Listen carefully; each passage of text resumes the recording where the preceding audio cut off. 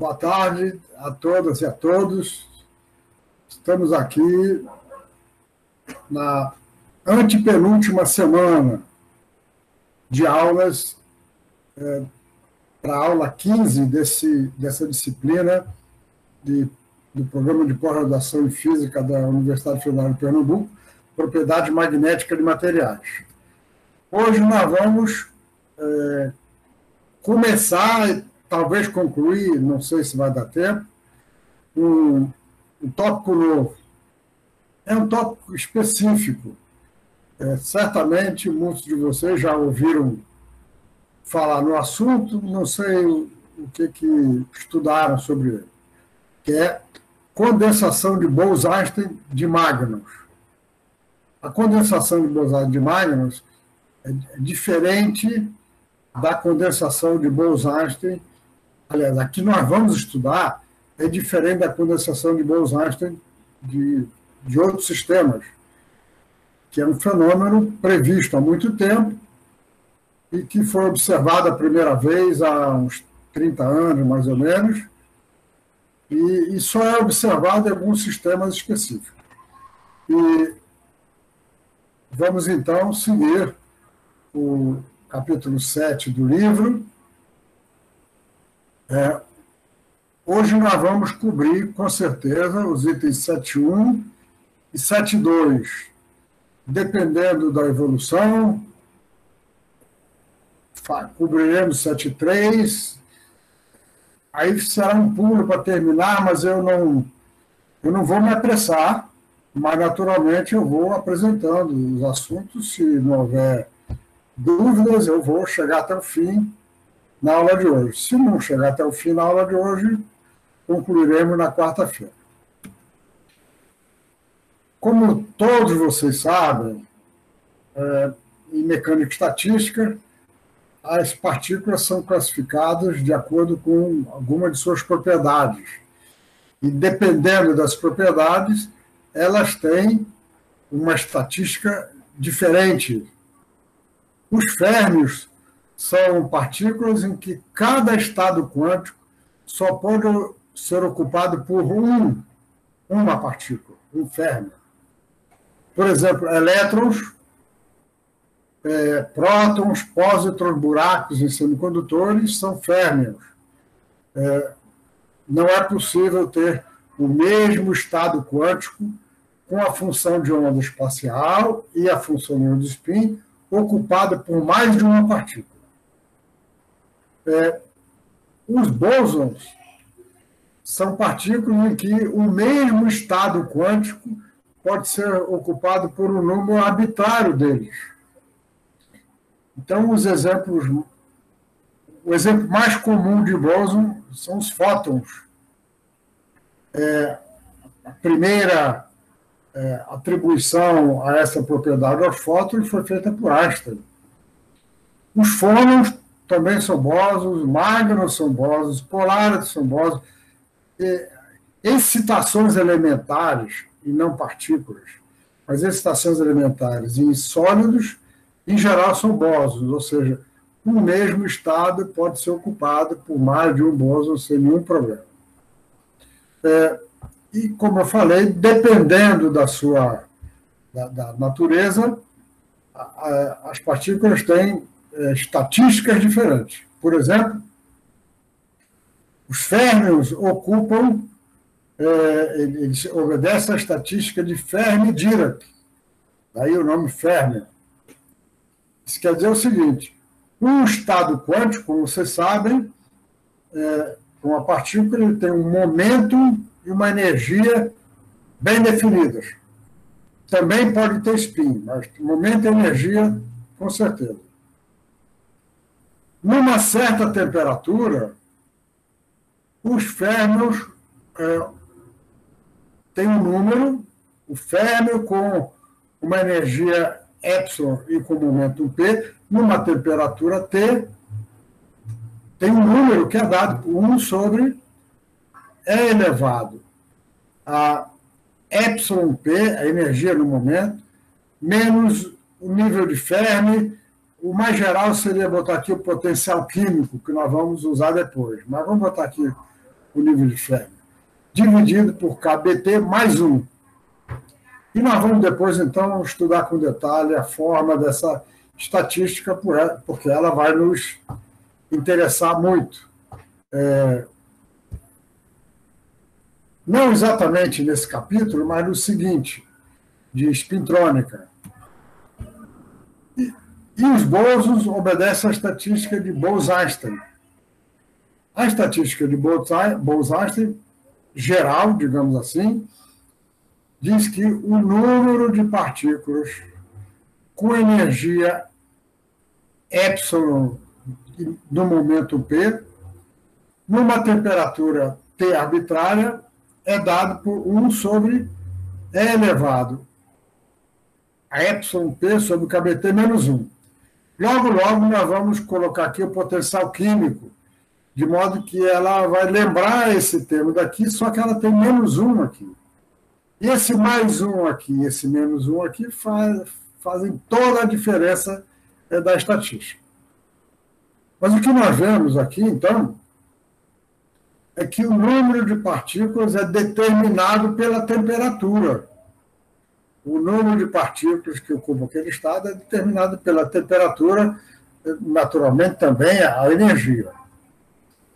É, vamos dizer que nós temos o sistema de bósons em que o número de partículas é fixo. Bóson numa caixa. Bóson numa caixa não é completamente trivial de fazer. É fácil fazer um conjunto de partículas com massa numa, fixo numa caixa. Mas bóson, bósons, que são quase partículas, e que podem ser criadas, destruídas, assim por diante, com o número fixo de partículas não é trivial, mas é possível fazer. Se ela tiver o um número fixo de, de partículas, eu não posso ter exatamente a mesma expressão que eu mostrei anteriormente.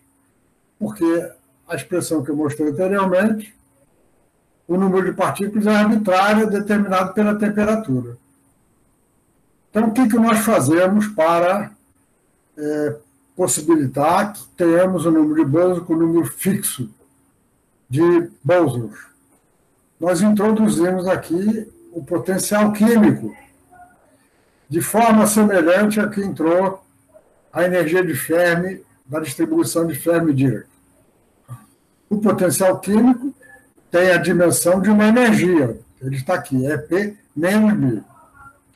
E, e por que isso aqui permite ter um sistema com número fixo de partículas? Ora, porque agora a temperatura está aqui. Se eu fixo o número de partículas, significa dizer que o somatório em todos os estados P do número de partículas é igual a T. Então, se eu colocar essa distribuição aqui, eu devo ter uma solução, e essa solução vai depender da temperatura, vai depender do potencial químico. Mas para qualquer temperatura, eu vou ter um potencial químico que faz com que o número total seja M.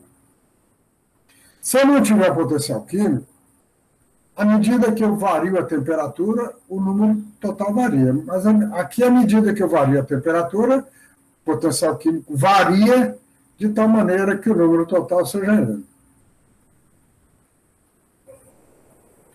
Vamos considerar bósons cuja energia varia com o quadrado do momento.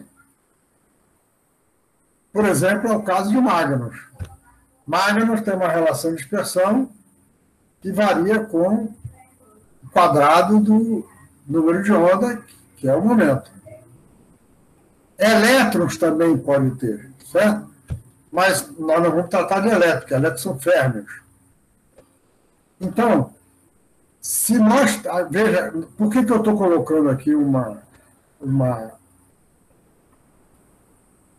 uma relação de expressão determinada? Porque para, ao fazer o somatório nos momentos, eu vou ter que estar considerando a energia correspondente. Então, eu só vou conseguir fazer isso para é, um, um, uma conhecida dependência da energia no momento.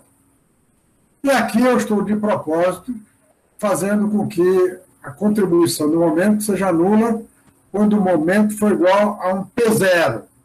Aqui, no caso, eu estou considerando P0 igual a 10. Podia ser P0 igual a zero, podia estar na origem, mas eu estou considerando um P0 igual a zero, até já adiantando sobre o que nós vamos encontrar depois. Então, é, considerando essa dependência da energia no momento, ou seja, essa relação de expressão, eu posso agora colocar essa energia aqui, colocar esse N aqui e fazer um somatório. Eu não vou conseguir fazer isso analiticamente, só em certas aproximações, mas eu consigo fazer numericamente. Numericamente, usando programas simples. Está aqui, então, é, o, o, número de bosons.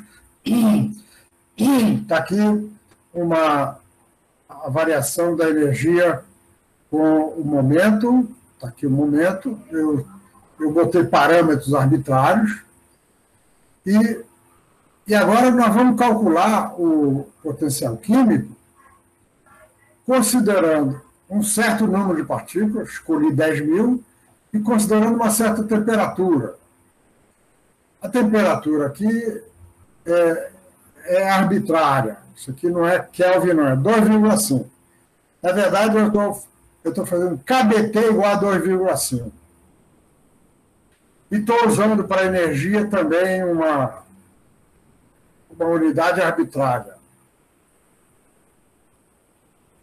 Então, se nós agora é, se nós agora fizermos o somatório disso aqui, ser igual a 10 mil, que é o número que eu considerei, ou seja, se fizer o somatório em todas, em todo momento, é, disso aqui ser igual a 10 mil, eu vou achar a forma pelo qual os bosons estão distribuídos.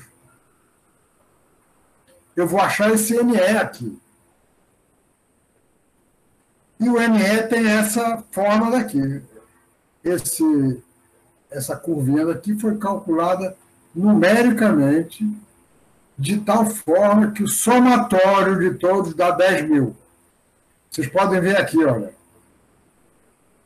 O número de estados é muito grande, mas ele, ele cai, tudo cai exponencialmente para é, distâncias muito grandes. Vejam que o número de bolos aqui, ele está numa escala em que esse, esse valor aqui é aproxima é da ordem, grosseiramente, de 200. Então, isso aqui é 200, se eu somo todos eles, eu chego a 10 mil.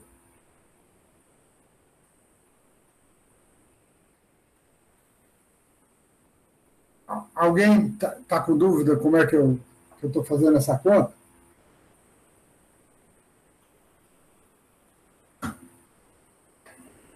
Então, o que eu vou fazer agora é abaixar a temperatura. Em vez de 2,5, eu vou fazer a mesma conta numérica. É só saber fazer somatório. Hein? Com um número menor, eu podia até fazer com a calculadora, mas com 10 mil é meio complicado. Eu agora diminuo a temperatura para 1. Vejam que ao diminuir a temperatura para 1, a distribuição de bósons, que, que vai ser em torno do mínimo. O maior número de bósons corresponde ao mínimo de energia. Certo? Porque eles estão distribuídos em todos os estados, mas é lógico que eu vou ter mais bósons na região de mínima energia. Então vejam que agora a curva ficou um pouquinho mais estreita. E o Mi subiu. Vou voltar um pouco. Aqui, o Mi estava aqui, o Mi subiu. O potencial químico se ajusta de tal maneira que somatório daqui vai dar 10 mil. Vamos diminuir ainda mais a temperatura para 0,1. E para 0,1 agora, vejam que nós estamos formando um pico aqui, e que o Mi está se aproximando do mínimo da mínima energia. O que quer dizer o Mi se aproximar da mínima energia? Significa dizer que essa diferença aqui fica muito pequena. E, e com essa diferença pequena, quase zero, a exponencial é próxima de 1. É elevado a zero é 1. O menos 1, o menos 1 vai dar zero. 1 sobre zero é infinito. Então, se agora a temperatura vai para 0,01, nós temos agora um pico muito estreito. Ele é tão estreito que, como eu considerei o número, uma distância entre picos, não dá nem para ver é, os estados aqui no meio. Ele tem, tem um aqui, o pico é tão estreito que não dá para ver. Se eu tivesse feito uma curva contínua, estava aparecendo uma curva aí. O que, que isso quer dizer? Isso quer dizer, minha gente, que baixando a temperatura, o número de bósons nesse estado é quase 10 mil, que é o número total de bósons. Esse é exatamente o conceito de condensação de Bose-Einstein. É isso. Condensação de Bose-Einstein é um estado no qual os bósons se concentram no estado de mínima energia.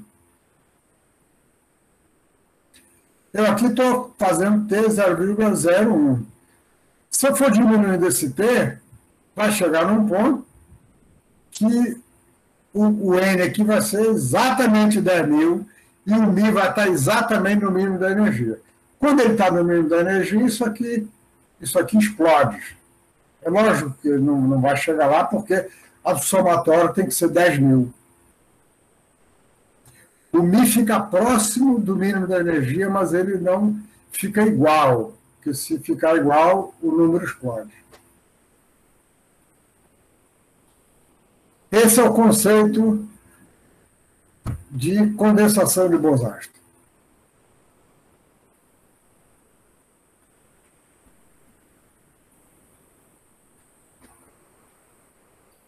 Isso só acontece com partículas com bósons. Não pode acontecer com férmions, porque os férmions não podem acumular num estado.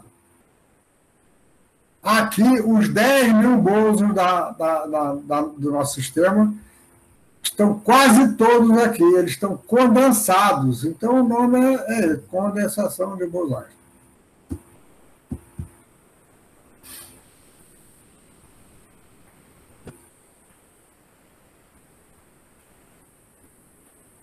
Pergunta?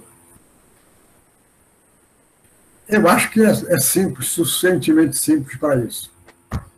Bem, é, essa conta numérica que eu fiz, é, eu também fiz, já que eu consigo calcular a energia, se eu tenho a distribuição de bósons por energia em cada temperatura, se eu multiplico isso pela energia de cada bozo e somo em todo o estado, eu tenho energia total. E eu posso fazer a derivada da energia total e isso me dá um calor específico. Então, essa conta numérica que eu fiz, eu uso o Fortran, é um programa muito antigo, é, mas é o único que eu sei calcular. Eu também arranho com matemática, mas aqueles de vocês que usam Python fazem isso com muita facilidade eu fiz numericamente essa conta também e fui baixando a temperatura. Lembra que a temperatura, lá eu mostrei começando em 2, mas eu fiz começando em 5, e olha o que acontece com o calor específico. Ele vai diminuindo, aí aqui ele apresenta um pico. Esse pico é um sinal da condensação de Bose-Einstein. É um indício da, da, da da existência da condensação no Mozart. É um pico no calor específico. Tem várias outras assinaturas, mas, em geral, a transição de fase é, é acompanhada por uma mudança brusca em alguma grandeza, como o calor específico. Então, eu fiz um experimento numérico para vocês. É, vou agora, não vou fazer a conta detalhada, mas mostrar uma outra interpretação para o que está acontecendo. Que é o seguinte: vamos considerar então que nós temos partículas. Vamos, nós vamos considerar, porque isso aqui tem livros de mecânica estatística. É um gás ideal, um gás ideal em três dimensões. Então tem uma caixa, as partículas são partículas do gás ideal. O gás ideal é um gás em que a gente não tem interação entre as partículas. Mas as partículas têm uma função de onda. Então, e esse, é, esse, essa esfera ou esse círculo representa o tamanho da função de onda, o tamanho espacial da função de onda. E, e vamos considerar um, um, um, gás ideal em que a energia varia com o momento da forma que eu acabei de mostrar para bosons. É, para aquela situação que eu acabei de mostrar. E, para uma certa temperatura, o potencial químico está aqui embaixo. Eu considerei uma temperatura aqui, digamos, 5 naquela minha escala. 5. O potencial químico está aqui. E nós sabemos que, numa certa temperatura, nós temos, então, o, o, o, gás ideal com uma função, com uma distribuição em momento que tem uma certa largura aqui. A, a largura em momento significa a incerteza da a incerteza da velocidade da partícula. No gás ideal, as partículas estão se movimentando, certo? Uma certa temperatura estão se movimentando e, e a função de onda dela, então, é, a função de onda dela tem uma incerteza, o produto da incerteza da função de onda pela incerteza em momento é, obedece ao princípio de relação de incerteza de Heisenberg. Então, olha o que vai acontecer quando eu diminuo a temperatura. Quando eu diminuo a temperatura, a distribuição em momento fica mais estreita. E, portanto, a função de onda fica mais larga, porque ΔX, ΔP é constante. Então, veja que à medida que o, o potencial químico se aproxima do mínimo de energia, a função de onda fica maior. O que, o que vai acontecer quando ele chegar aqui?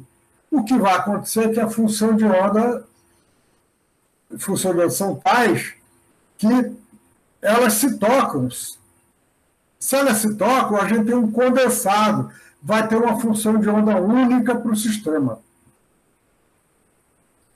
Então, essa é uma outra visão, visão para o, o condensado. O condensado corresponde ao sistema em que as partículas já não são independentes. Elas agora condensam, como se elas se grudassem uma nas outras.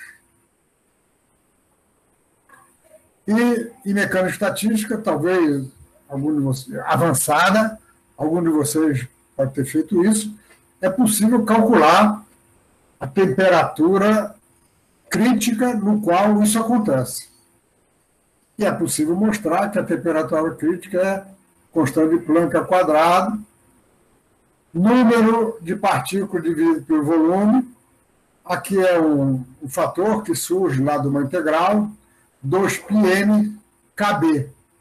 É, KB, veja se eu passar o, o KB para cá, eu tenho energia, e isso aqui vai ser energia. E se a gente continua diminuindo a temperatura, o número de partículas que eu tenho aqui, olha, nesse gráfico, o, o eixo aqui é N0 sobre N. N é o número total de partículas, N0 é o número de partículas no condensado. Nós dizemos que aqui houve uma condensação de Bose-Einstein, e à medida que eu diminuo a temperatura, o número de partículas no condensado aumenta até que, quando a temperatura for nula, o número de partículas condensadas é o número total de partículas. Como aquilo que eu tinha visto anteriormente. Quando o número de partículas é, no mesmo estado é igual ao número total, eu tenho a máxima condensação. E é possível mostrar que N0 sobre N é 1 menos T sobre TC elevado a 3 meios. Isso aqui demonstra-se mecânica estatística para um gás ideal e eu não vou fazer aqui. Então, esses são alguns conceitos básicos de, é, de condensação de Bose-Einstein. No livro eu falo muito de leve nisso, mas não mostro essas figuras, não, não dá, não dá, não daria. Se, se mostrar, teria que deduzir isso. Isso tem livro de mecânica estatística, como eu falei. Então, um condensado de Bose-Einstein é formado quando uma população macroscópica de bósons ocupa o mesmo estado quântico, ou um pequeno número de estados quânticos. É, esse é o conceito de Beck. Existem três características importantes de um Beck. Uma é que ele é caracterizado por uma transição de fase. O sistema é, de bósons, para entrar no Beck, ele sofre uma transição de fase. Acabei de mostrar a curva para um gás ideal. Outra característica o Beck tem uma função de onda única. E essa função de onda única está relacionado ou é o parâmetro de ordem do sistema. E uma terceira é que o número N0 de partículas do Beck é próximo do número de partículas. Isso aqui tudo está na, nos slides que eu mostrei anteriormente. O Beck foi previsto, teoricamente, por Einstein em 1924. Olha a quantidade de coisa que esse gênio fez. 1924. Para partículas obedecendo à estatística de Bose, em particular para fótons. Ele previu que isso podia acontecer. O Bose era um um físico que, que, propôs, que propôs essa estatística e que hoje ela é conhecida como Bose-Einstein. A condensação também é conhecida como Bose-Einstein. A, a, o, o, o hélio o hélio gás, vocês sabem, quando nós é, comprimimos o hélio, ele vai baixando a temperatura, é, existe hélio 3, que a gente usa com frequência no laboratório, mas se a gente continua baixando a temperatura, ele passa para hélio 4 numa, e, torna-se um superfluido. Bem, medidas com, em baixíssima temperatura, a, feitas já há algum tempo, mostravam uma, um pico indicando uma transição de fase. Mas foi preciso pesquisadores é, fazerem teorias, aí tem pesquisadores americanos, principalmente, e russos, que contribuíram para isso. Eles então explicaram que aquela transição de fase era devido a uma transição para o estado superfluido. O estado superfluido é um estado em que as partículas se movem em conjunto. E elas movem em conjunto porque elas estão condensadas. A superfluidez envolve uma condensação de Bose-Einstein. A supercondutividade, não. Na supercondutividade, os pares de Cooper, eles, eles não têm a, a mesma função de onda. Os elétrons têm função de onda que formam pares de Cooper, mas o, o, os pares de Cooper se movimentam independentemente.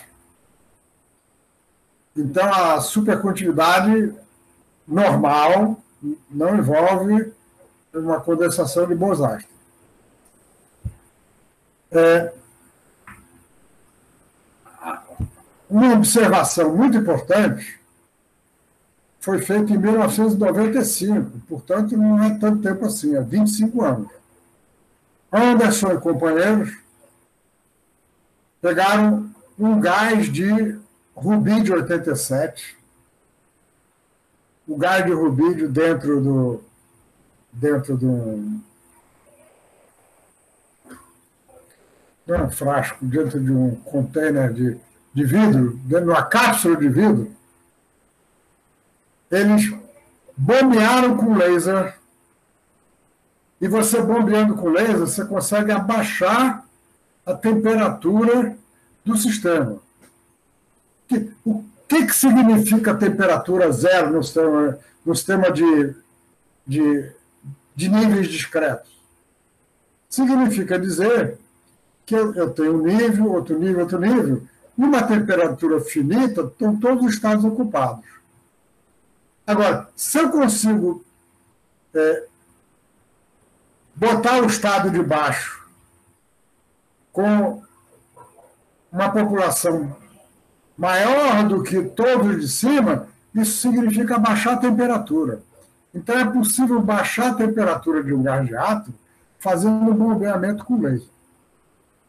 Do nosso departamento, temos dois professores que trabalham com isso, a professora Sandra Sampaio e o professor José Wellington Tabosa, trabalham no laboratório com é, resfriamento de, de sistemas atômicos usando laser. E Anderson observou que havia, então, uma transição de fase, não vou poder discutir isso aqui, que era explicado por uma transição, é, por uma formação de um condensado de Bose-Einstein. O condensado de Bose-Einstein de Magnus foi observado a primeira vez em materiais magnéticos com ordenamento em uma dimensão, em campo magnético muito intenso e com baixas temperaturas. Um campo magnético muito intenso, como você sabe, o que ele faz é, é, é espaçar os níveis de energia magnética.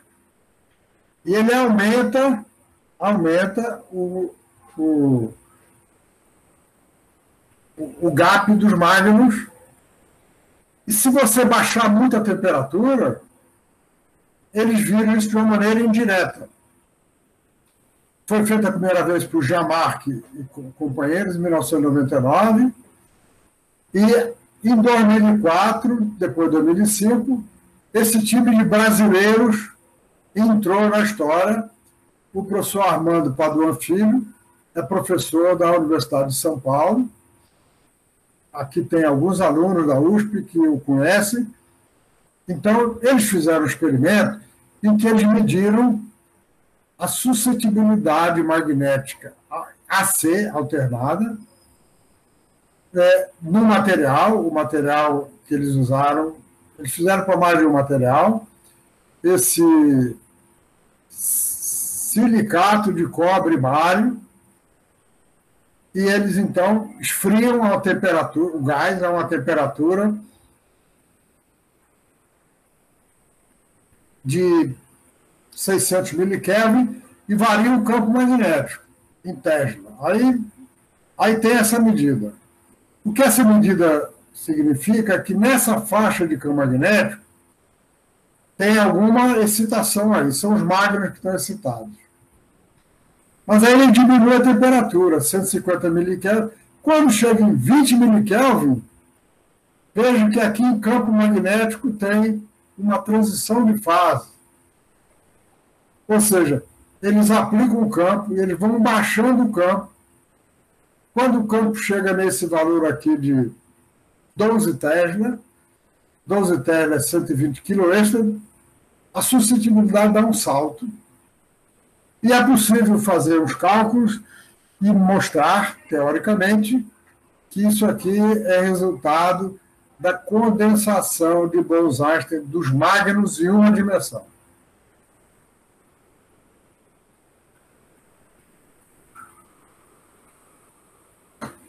Professor? Esse... Não. É, a condensação só acontece para os casos onde tem esse, essa quase divergência aí, ou para o caso vermelho também, que é menos, menos acentuado? Não, aqui está aproximando, ele está ele tá se aproximando da transição. A gente pode dizer que aqui já é. Aqui ele está próximo. Certo? Naquela, naquela curva que eu mostrei, a gente está chegando perto da transição de fase já tem alguma alteração ali.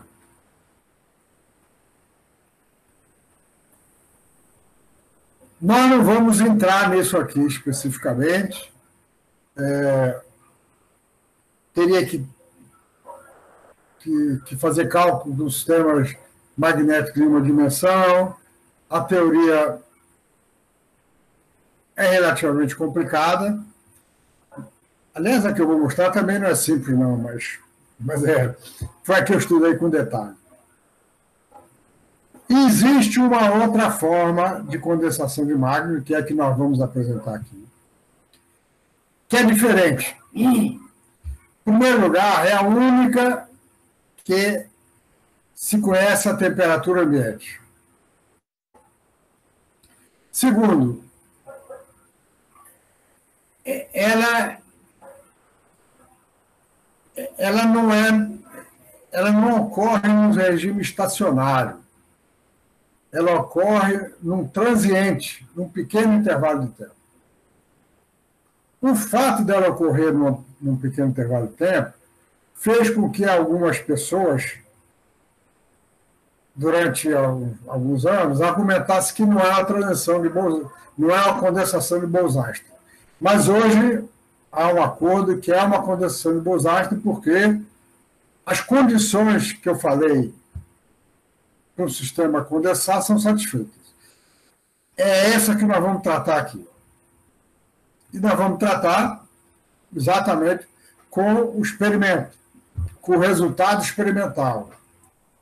Experimento, o primeiro trabalho foi feito há 15 anos por um time na Alemanha. Demokritov é russo, mas ele está na Alemanha há muito tempo.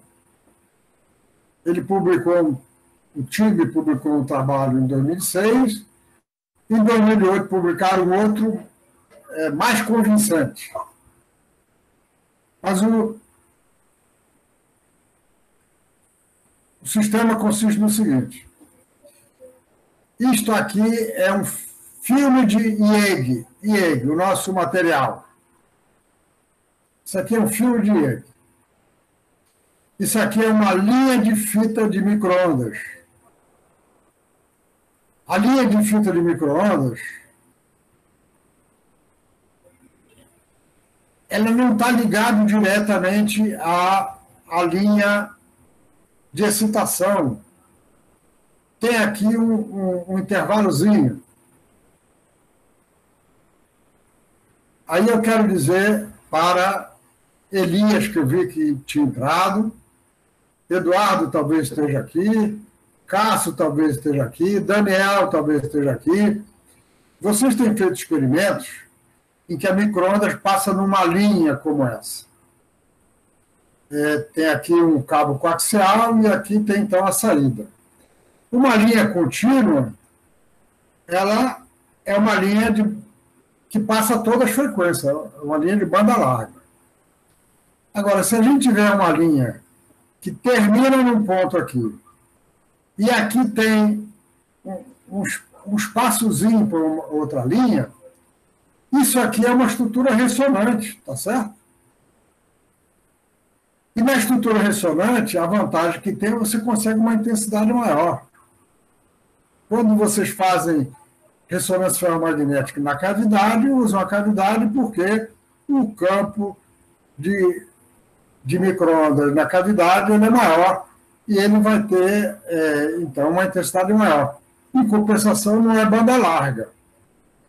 Eles, então, por isso é que chama ressoador, que ele vai daqui até aqui, isso aqui é, é para o acoplamento.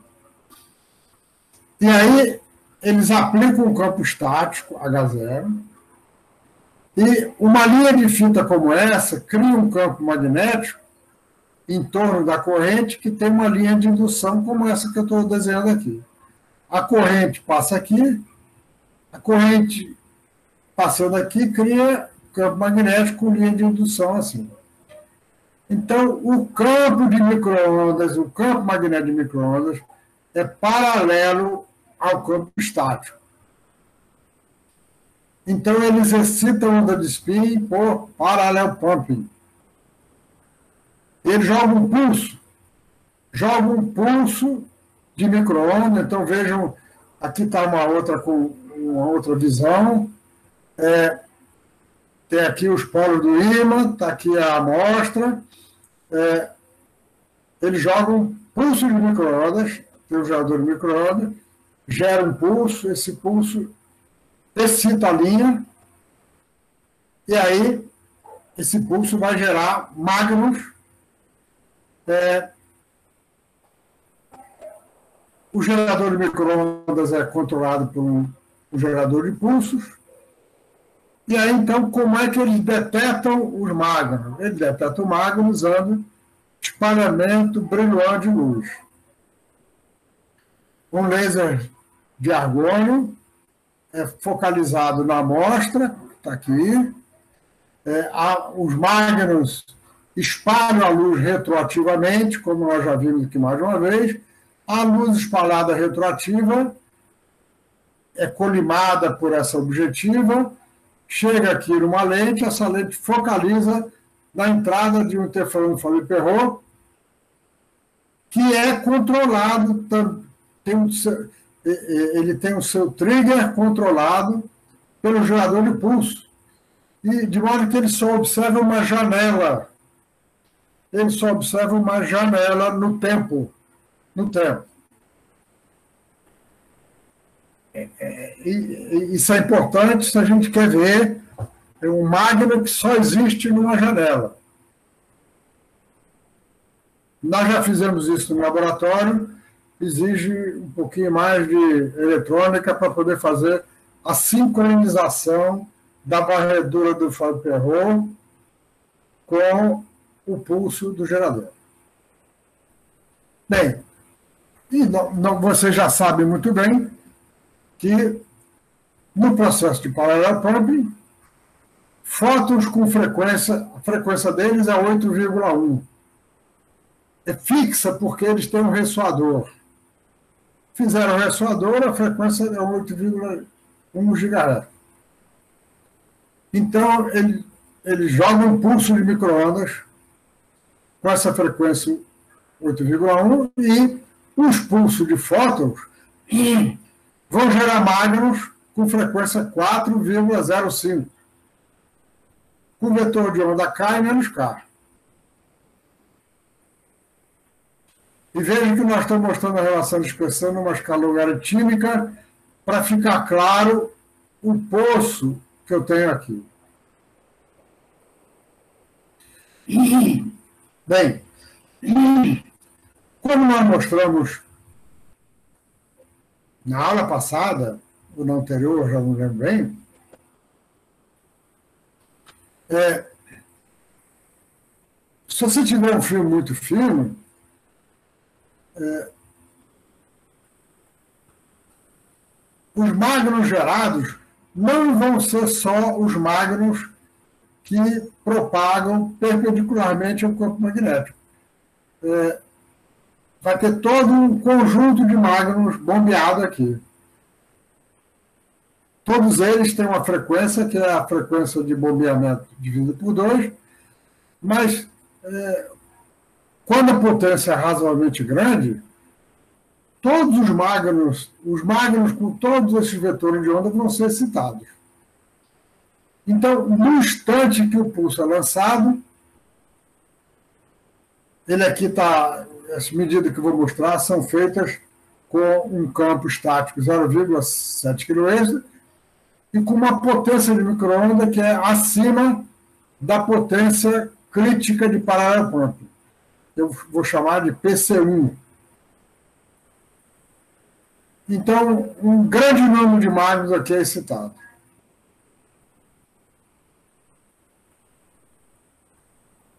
Aí eles fizeram medidas é, inicialmente sem resolução espacial.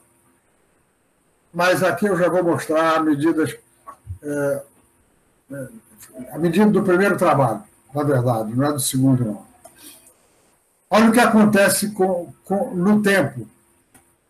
É, o pulso é lançado no instante zero eles estão observando com o espalhamento Brillouin, aqui a intensidade Brillouin, e, e, ele, e o Brillouin dá a intensidade variando em função da frequência. Então, 40 nanosegundos depois do lançado o pulso, tem aqui o pico de Magnus, é um pico centrado em 4,05. Desculpe, desculpe, eu tenho que começar em 20 nanosegundos. Em 20 nanosegundos, é um pico estreito, centrado em 4,05. 20 nanosegundos depois do lançamento do pulso. Ele não consegue nem fazer menos porque o pulso tem largura de 20 nanosegundos. Aí o tempo passa, 30 nanosegundos, o pulso já vai alargando. 40 nanosegundos, o pulso já vai alargando. 50 nanosegundos, olha o que acontece. O, o pico que estava aqui já começa a se deslocar aqui para baixo. Em 120 nanosegundos, o pico não tem mais a frequência de 4,05 GHz. Tem a frequência de 2,8 GHz. Aí eles continuam observando 200 nanosegundos, 300 nanosegundos. Então, veja que o pulso ficou em torno de 2,8 GHz. Já vou explicar por que 2,8. E à medida que o tempo passa, ele vai caindo. E ele vai caindo por quê? Porque os magnos vão relaxando para a rede. Essa foi a medida do, do, do primeiro paper e que foi publicado já como condensação de Bose-Einstein, e como eu falei, houve muito questionamento. É, e aí, então, é, nesse seu trabalho, de 2008, eles usaram um sistema na qual o, antes da antes da A amostra está aqui. O, o, o, pulso do laser está do outro lado da amostra. É, aqui está o filme. Eles veem a luz espalhada na mesma de a luz espalhada é, não por reflexão, mas por transmissão. Aqui está a lente coletora e depois da lente coletora eles, eles botam um, um, cartão que tem aqui um, um pinhole, que é o furo que deixa passar a luz para o interferômetro, e que eles podem variar a posição. Então, variando a posição, olha o que, que eles estão variando. Eles estão variando o vetor de onda espalhado. Porque está aqui o laser, KL, os magros estão aqui no filme, perpendicularmente. A luz espalhada vai fazer um ângulo para conservar momento, que é essa daqui. Então, variando é, a posição desse pinhole, afastando, aproximando, eles conseguem fazer, então, uma varredura em vetor de onda. E olha que medida interessante. A medida é feita por os Brillouin, aí eles têm um software, e nesse software o, o amarelado, avermelhado, significa maior intensidade do espalhamento Brillouin. É, e eles, variando a, variando a posição do pinhole, eles conseguem, então, variar o K transversal, o K na direção transversal com o magnético, e aqui o K paralelo. Eu cortei a, a linha de baixo, faltou o outro K. Isso aqui é espaço K, viu? K paralelo, K perpendicular. Então, em 20 nanosegundos, os magros citados estão concentrados em 4,1 GHz espalhados em K. Em 40 nanosegundos, eles já estão passando de 4,1 para 3,5 e estão, olha o que está acontecendo aqui. À medida que o tempo passa, o pico vai se deslocando. Aqui está o K que eu devia ter colocado lá em cima. K paralelo e K perpendicular. Para um tempo de 700 nanosegundos, os estados de magno se concentraram em 2,9 GHz eles estavam numa grande faixa de vetor de onda, aí eles se concentraram em 2,9. Ou seja, eles condensaram no fundo do poço. Vou mostrar o poço daqui a pouco. Aliás, o poço eu já tinha mostrado. Aqui o poço os magnos são bombeados aqui e eles caem para o fundo do poço, é, que varia dependendo do valor do campo magnético.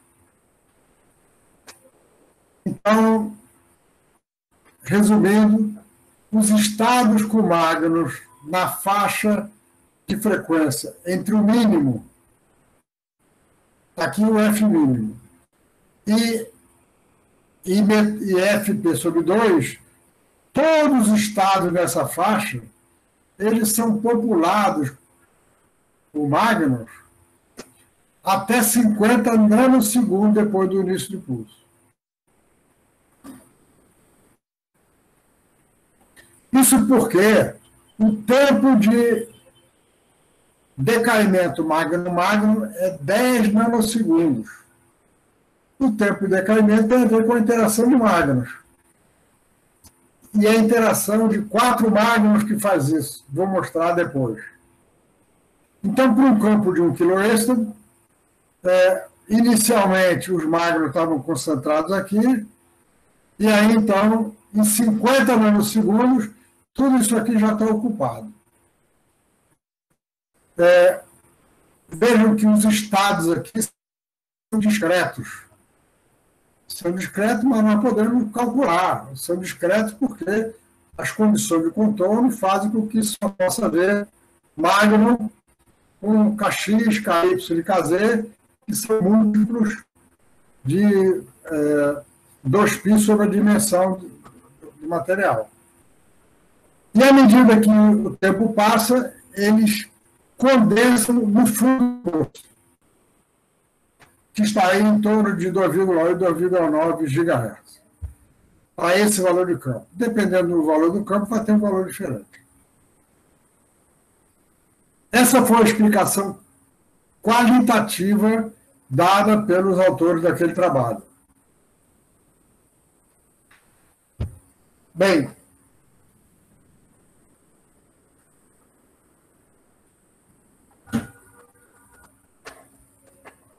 Será que com as nossas ferramentas de todo o curso a gente consegue explicar isso que os autores do trabalho explicaram qualitativamente? Agora, nós queremos explicar tudo. explicar o que acontece e mostrar que tem uma transição de fase, mostrar que tem uma função de onda e mostrar que tem coerência. Vamos mostrar, vamos lá. E dá para vocês entenderem perfeitamente. Não vou, não vamos fazer as contas com detalhe, nem eu vou exigir isso nos trabalhos, mas vocês vão entender a ideia básica.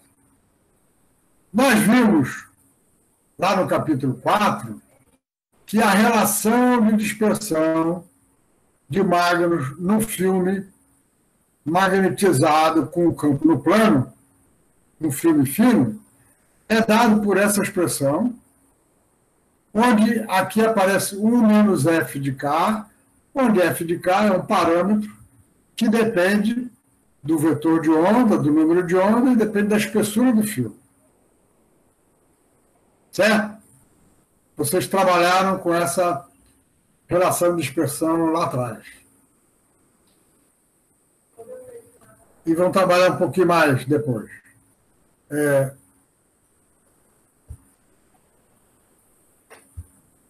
Está aqui uma figura mostrando a relação de dispersão calculada para cada ângulo. Então, para θ igual a zero, a frequência mínima, 20, 40, assim por diante. E vejam que para esse filme, é, essa figura foi calculada para o filme com a espessura das, do experimento, que é 5 microns, micrômetro.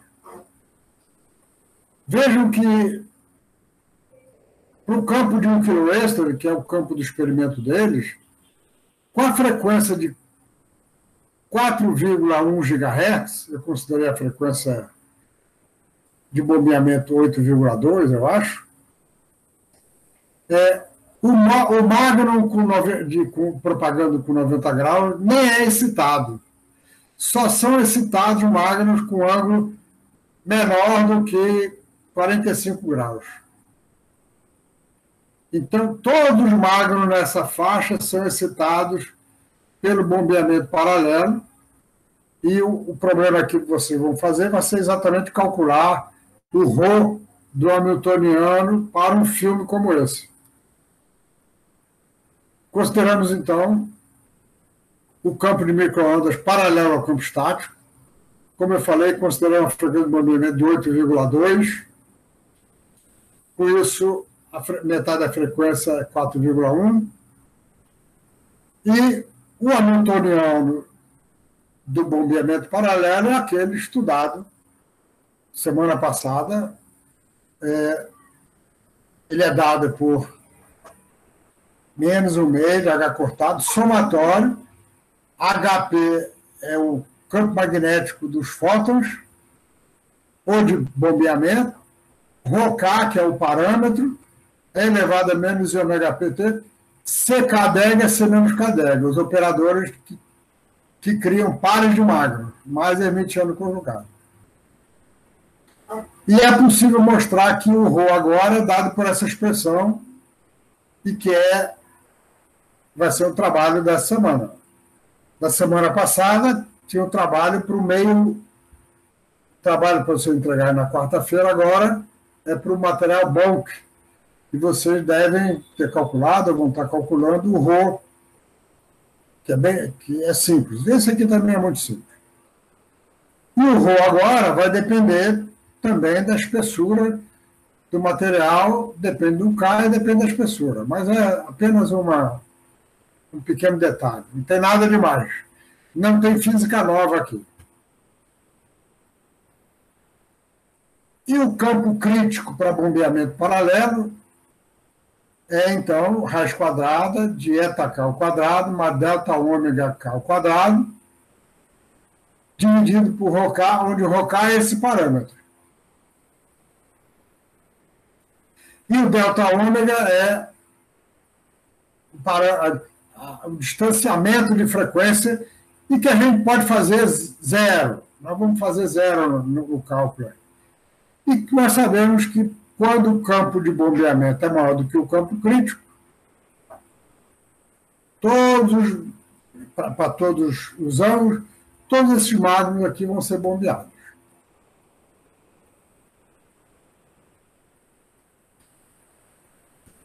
Nós também sabemos que o, a interação de quatro magnas tem um papel importante, porque ela estabiliza a população de magnos.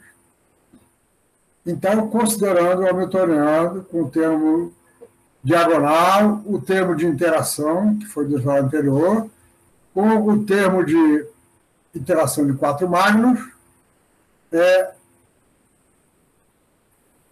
faltou aqui o de quatro magnos, eu não botei ainda aqui, não botei ainda. Sem o termo de quatro.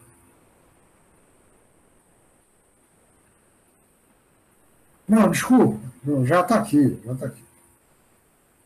Com o termo de quatro magnos, o, nós temos então aqui um termo que tem dois operadores de magnos e mais um aqui, três.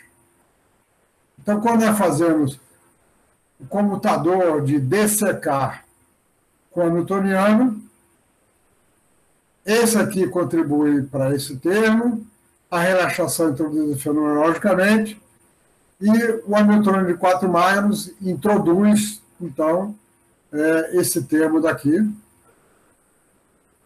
E esse aqui vem do bombeamento, deste daqui. Se nós consideramos que só tem um modo, nós resolvemos essa equação no tempo, essa é a solução. A gente tem um overshoot aqui, depois ele estabiliza e no estado estacionário o número de magnons é então dado por essa expressão HP ρk ao quadrado menos zk quadrado menos delta ômega dividido por 2V4, onde V4 é uma combinação de ST. Então, o papel do, do, do, da interação de quatro magnos, um dos papéis da interação de quatro magnos é estabilizar a população de magnos. Está aqui a expressão do V4. E agora, nós vamos fazer delta ômega igual a zero. Delta ômega igual a zero. Se fizer delta ômega igual a zero, veja que aqui eu tenho o campo de microondas ao quadrado, aqui a relaxação ao quadrado, e o campo de microondas ao quadrado menos o campo crítico, que era esse daqui sobre o Rho, dividido pela, isso aqui, é a razão das potências. Então, nós podemos escrever o número de magnos do estado estacionário, não em função do campo, mas em função das potências.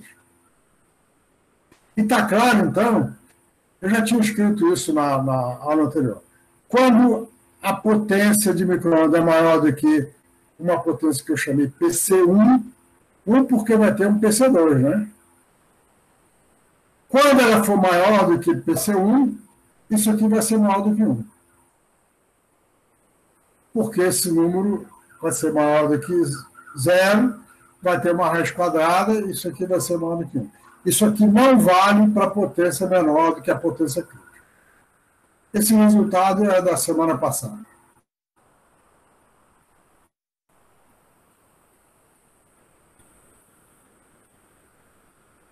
Então, está aqui a expressão do, do número de magos bombeados. E agora tem o seguinte: como eu falei, isso aqui é o número de magos bombeado com um determinado K eu vou considerar que, não, em vez de ter um magno excitado, eu tenho um certo número que eu vou chamar de R índice P. É um número R, que eu, que eu não conheço. Se eu tiver RP magno excitado, eu posso dizer o número total de magnos no gás de magno. O número total vai ser RP vezes isso daqui. Aí, para não ficar carregando isso aqui, eu defini NH como sendo por 2V, delta N, NS sobre 8, 8 ômega N. É um parâmetro. Isso aqui é um parâmetro que veio daqui. Então, eu introduzi aqui um, uma quantidade que eu não conheço, que eu vou dizer, é o número de modos bombeados, é o número de modos. Cada modo tem o número, o número de magno, que é esse aqui. Então, o número total de magno no gás é NP. Desde que eu estou começando a usar nomenclatura de, lá de, do gás, né? Número total de magno no gás é NP. Eu consigo calcular a menos desse fator.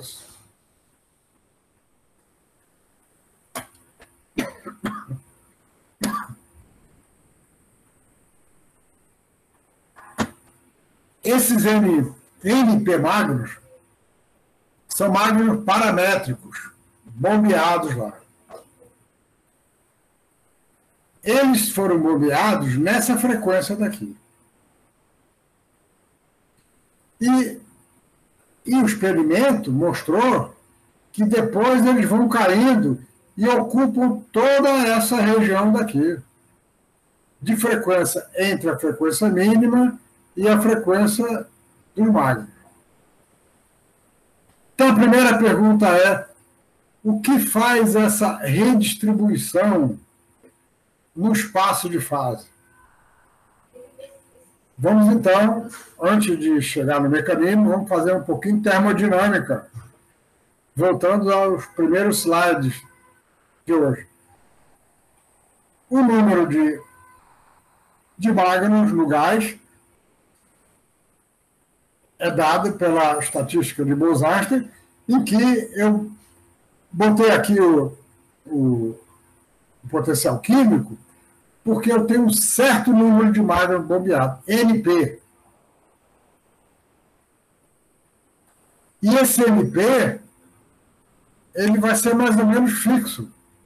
Enquanto os magnos não relaxarem para a rede, veja, a relaxação do magno para a rede a rede se dá num tempo maior, um microsegundo, daí para diante. Então, nesse intervalo de zero a um microsegundo, o número de magno não muda. Eles estão lá. Então, eu preciso aqui botar o potencial químico. O número total de magnos eu posso escrever como sendo a integral em a distribuição é, de Magnus, de ômega, d ômega, onde d ômega é a densidade de estados.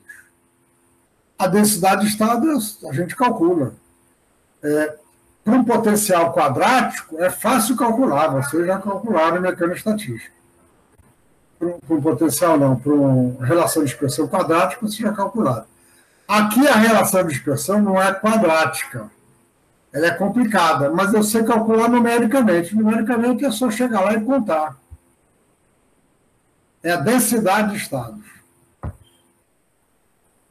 E então eu digo que o número total de magnos, que é aquilo dizia anteriormente, vai ser dada por essa expressão daqui. Onde de ômega eu sei calcular numericamente, é só chegar lá e contar o número de estados. Vamos definir, para facilitar as contas, uma função de uma distribuição de Bose-Einstein normalizada, é, que ela é a, a distribuição de Bose-Einstein dividido por um, uma quantidade, e essa quantidade é uma quantidade que me permite normalizar o número. É integral do número em d ômega, mas dividido pela, pela faixa de frequência que eles ocupam. Delta ômega R é a diferença entre a frequência do magro bombeado e a frequência mínima. E eu estou chamando o mínimo de ômega K0. Então, ao dividir esse, essa integral por isso aqui, eu tenho uma grandeza que não depende, que, que, que tem a dimensão que não tem dimensão, porque eu dividi frequência por frequência, e número não tem dimensão. Que vai ser útil para fazer cálculo. O que a gente chama densidade espectral, em mecânica estatística, é a densidade de estados é, cada estado com o peso da sua distribuição. Em cada frequência, eu vou ter um certo número de mágnos, dado pela distribuição de Bose-Einstein. Mas, quando eu fiz essa normalização, eu pude, então, passar a trabalhar com uma, uma grandeza é, adimensional aqui. Então, a densidade espectral é a densidade de estado, em que cada estado está pesado pela sua probabilidade de ocupação. Então, agora, novamente, cálculo numérico que eu faço com o Fortran. Está é, tá aqui a relação de expressão, que nós, vocês já entendem bem, Aqui é o magno com, com vetor de onda é, na direção do campo magnético. Vamos chamar o vetor de onda do mínimo de K0. E vamos chamar a frequência do magno K0 de ômega K0. Quando eu divido por 2π, eu tenho 2,9 GHz. E numericamente, já que eu conheço a relação de expressão, já que eu sei contar os estados, eu posso numericamente fazer a figura desse G de ômega, que é a densidade espectral. G de ômega é o número, número de estados, isso aqui é, é, é o número, como isso aqui tem a dimensão de de, de inverso de frequência. Né? Então, é número por frequência, por megahertz. O número por megahertz, a escala está aqui, de 5 vezes 10 a 5 a 1,5 vezes 10 a 6. Esta figura daqui é a figura calculada numericamente. Só tem estado entre frequência 2,8 e 4,1. Então está aqui só tem frequência 2,8 e 4,1. Ou seja, isso aqui é a densidade de estados, mas com o peso, cada estado com o peso da função de Bose-Einstein. Eu vou mostrar depois a medida, a medida experimental com o espalhamento de Ron. Eu devia ter posto essa curva aqui agora, mas eu, eu, eu não pensei nisso antes. Veja, nessa situação, o Mi é zero. Eu estou numa temperatura ambiente, temperatura ambiente, o, Mi, o potencial químico é zero. Porque o número aqui é muito grande. Mas agora, o que, que eu vou fazer? Eu vou começar, olha o que eu vou fazer. Eu vou é, aproximar o Mi da, da, do mínimo da frequência. Eu estou aproximando-me, esse é o parâmetro que eu estou mudando. Ao mudar esse parâmetro, é, vai aparecer uma temperatura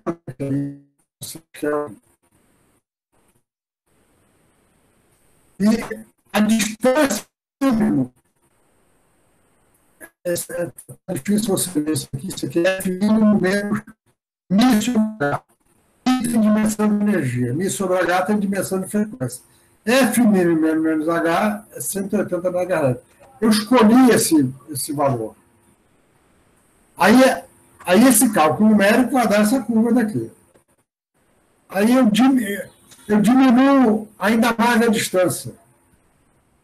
Vou para uma distância de 30 MHz. Olha o que aconteceu com a distribuição. A distribuição foi ficando concentrada em torno de 2,8 GHz. Deixa eu ver se tem outra. Não tem outra, não. É essa daqui. Olha a medida experimental.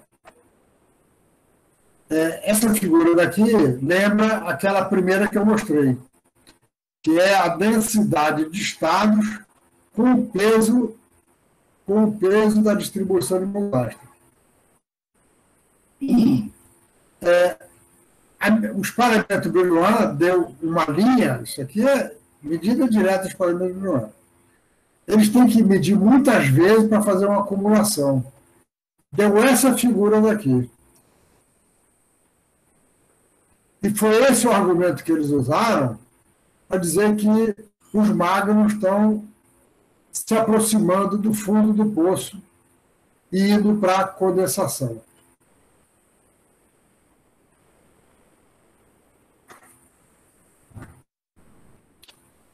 Ao fazer isso, eu é, consegui uma, uma, nós conseguimos uma grandeza que vai dar a medida da condensação. É a densidade de estados com o peso da função de Bose-Einstein. Sim, mas como é que os magnos vão.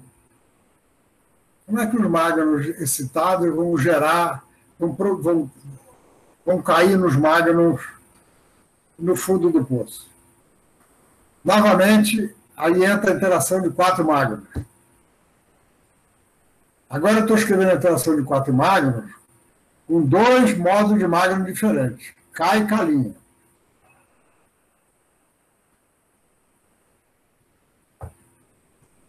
E vamos introduzir uma grandeza importante, chama função de correlação, que é o valor esperado desse operador CK C menos K. É possível mostrar que a função de correlação é uma função complexa, cujo módulo é o número de magnos e cuja fase vai ter uma, uma, uma fase arbitrária e ela vai ter também uma variação no tempo. Ela varia com a frequência 2 ômega K. Dá para ver isso, né? Porque a gente sabe que o módulo é, de C ao quadrado é o número de magro. E como eu tenho aqui é, CK e C menos K, cada um variando com a frequência ômega K, o produto dele vai dar duas vezes ômega K. Isso é uma função de correlação. Então, esse Hamiltoniano aqui nós vamos escrever desta forma aqui.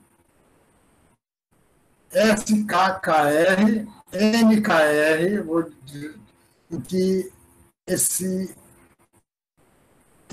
isto aqui veio da função de correlação. O SKK' é esse aqui. Isto aqui é a função de correlação, mas eu botei aqui um R aqui. O R se refere reservatório. E sobraram esses dois operadores, CK e C menos K.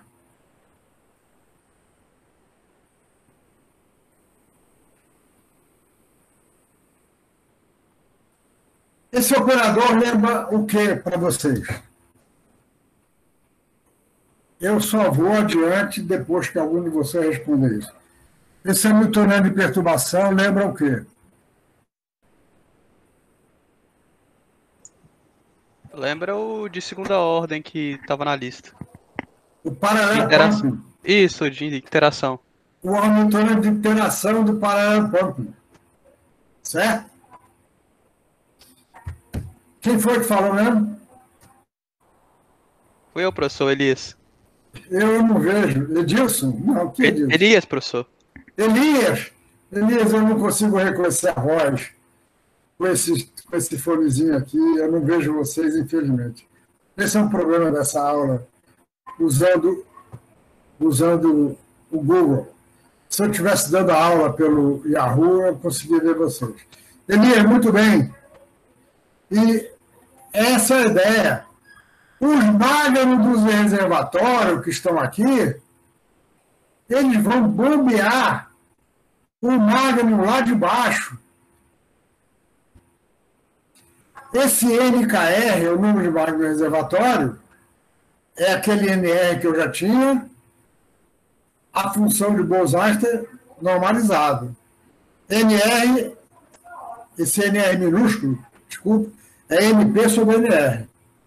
NP é aquele que eu tinha mostrado antes. Desculpe, esse NR eu não tinha mostrado, agora que eu estou mostrando. É, então, ele tem a mesma forma do Hamiltoniano Parallel em que agora eu escrevi tudo aquilo como o termo de parallel pump que nós vimos anteriormente. Só que agora, esse H rho efetivo é menos IG de ômega K0, eta M, V4, NR, onde NR é esse número daqui, é, onde o G é a densidade espectral que eu defini. Ela, ela diz o peso é, da, de, de ocupação dos estados que eu estou considerando. Ora, quando esse agarrou efetivo for igual a N, a taxa de relaxação, eu chego ao número crítico de magno no reservatório que bombeia o magno que vai condensar. O número crítico veio das pessoas que nós tínhamos antes, é simplesmente o, o aquela mesma impressão que eu tive no slide anterior. E aquele resultado vai dar 2 sobre V4 G de ômega K0, onde K0 é o vetor de onda do mínimo.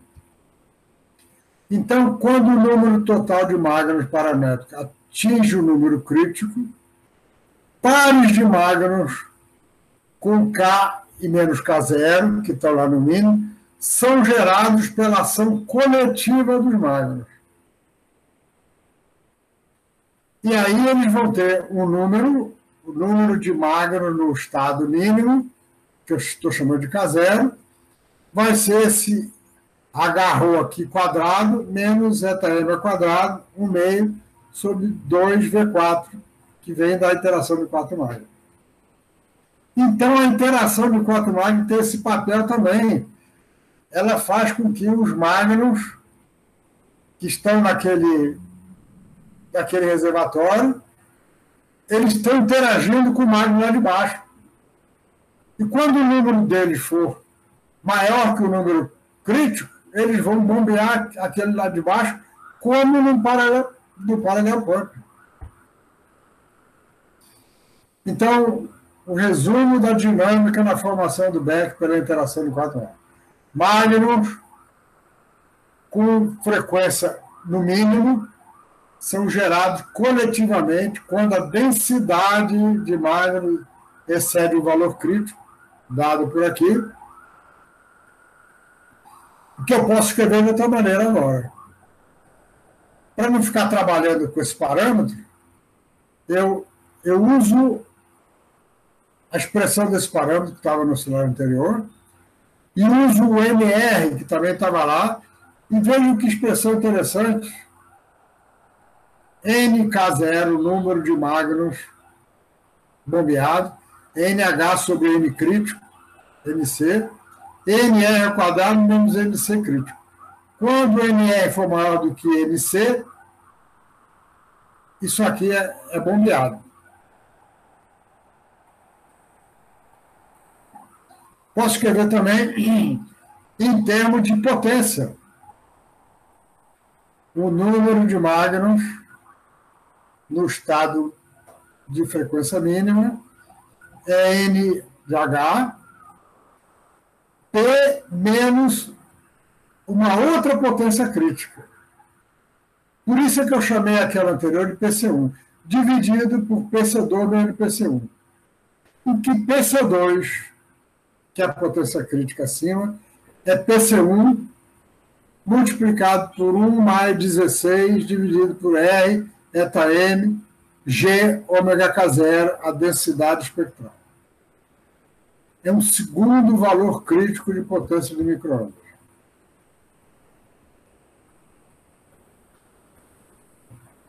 Comparação da teoria com o experimento. Ora, se a potência for menor do que a potência C2, nós não temos condensação de Bose-Einstein. Mas nós temos os magnos paramétricos. E aí, a intensidade do espalhamento Brillouin é proporcional ao número de magnos paramétricos que eu tenho lá, e ela é, então, como nós já vimos, acabamos de ver, raiz quadrada de P menos PC1 dividido por PC1. Quando ela é maior do que PC2, o número de magnos é aquele que eu acabei de escrever. Mas agora, não vai ter a raiz quadrada aqui, é P menos PC2 dividido PC2 por PC1. Porque, como eu, vou mostrar, não vai dar, acho que não vai dar tempo de fazer isso hoje, os magnons é, que condensam no fundo do poço, eles formam um estado coerente.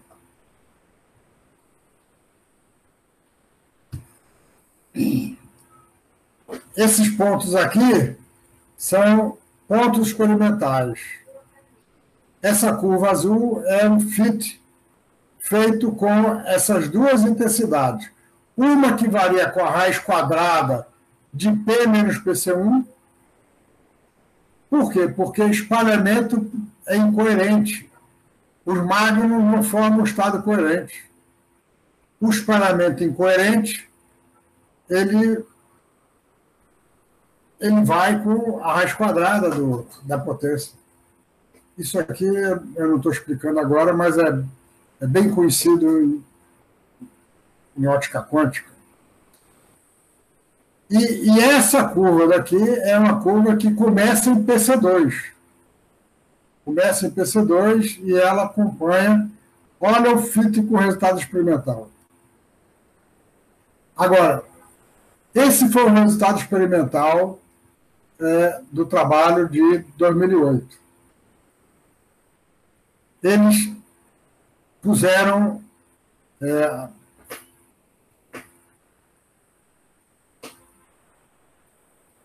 a, isso aqui é a intensidade. Desculpa. É, a linha vermelha é a taxa de decaimento, decay rate, essa daqui.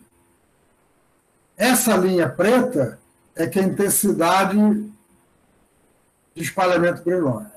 Essa linha tem aqueles pontos que eu mostrei no slide anterior. No trabalho deles, hora alguma eles disseram que tinha uma transição de fase aqui. Eles plotaram isso botaram essa curva lá. Como eu falei, não havia uma explicação quantitativa. E, como eu disse antes, a transição um condensado exige uma transição de fase. Eles não falaram em transição de fase. Esses pontos pretos aqui são exatamente os que eu usei é, nesse slide aqui. Mas o fato é que, para potência menor do que a potência crítica, os espalhadores são incoerentes é, e, para potência acima do, da potência crítica, nós vamos mostrar que os estados são coerentes e aí então o espalhamento vai com campo elétrico ao quadrado, campo elétrico ao quadrado é potência e não potência e não raiz quadrada de potência. Ou seja, o espalhamento antes da potência abaixo da potência crítica, ela é proporcional a n, para a potência acima da, da potência crítica, ela vai com n ao quadrado. Então, repetindo o que eu tinha dito antes, o requisito para que o sistema de partícula tenha uma condensação de Bose-Einstein é que haja e exista claramente uma transição para a fase Beck, na qual o sistema seja caracterizado por um parâmetro de ordem. Na fase Beck, o sistema deve apresentar coerência quântica. O número total de partículas no condensado deve ser próximo do número total de partículas no sistema. E na fase Beck, o sistema deve ter uma função de onda. Na aula de quarta-feira, eu vou demonstrar essas três aqui. Essa primeira nós mostramos hoje. Existe uma transição de fase, tipo paralelo pumping, que faz, com a diferença, é que quem está fazendo o bombeamento é o reservatório de magma no, no, no, no, banho. O reservatório de magma, o número de magma no reservatório, quando chega numa situação tal, pela interação de quatro magmas, ele bombeia o magma de carga a zero. Na quarta-feira eu vou demonstrar essas outras três e nós vamos então ficando por aqui hoje.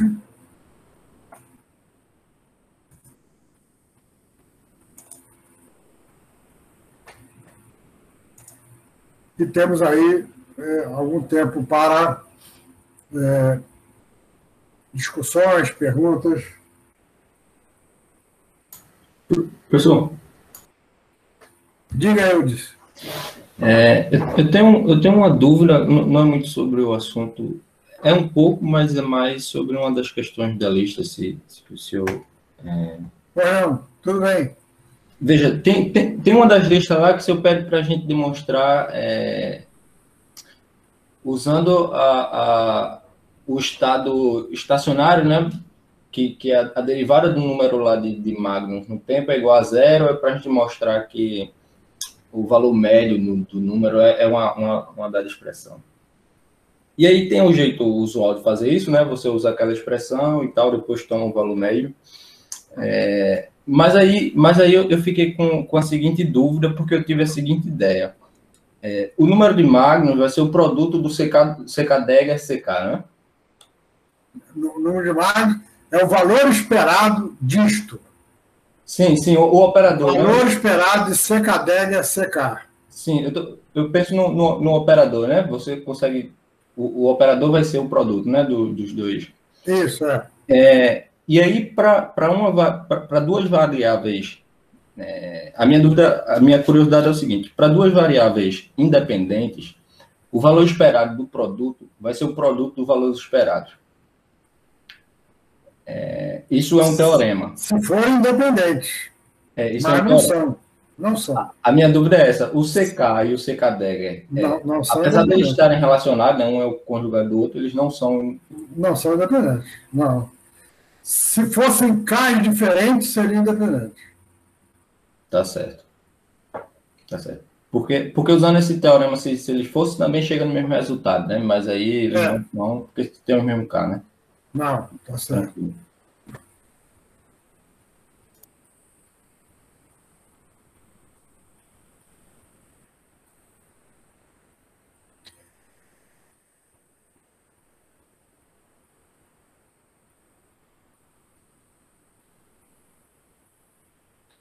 Caio, já parou de gravar?